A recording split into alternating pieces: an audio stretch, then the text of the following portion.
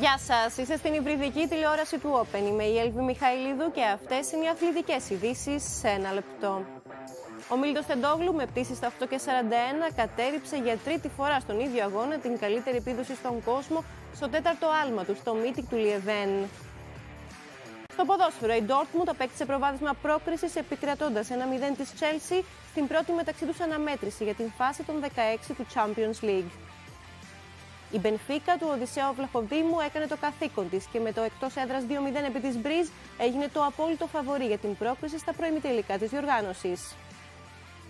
Στην Αγγλία, η Manchester City επιβλήθηκε κατά κράτος της Arsenal με 3-1 στο βόρειο Λονδίνο και πάτησε κορυφή έστω και με μάτς περισσότερο.